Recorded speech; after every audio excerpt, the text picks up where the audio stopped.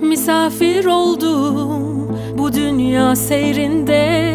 Yaşamak neymiş gördüm öğrendim. Payıma düşenle bir ömür sürdüm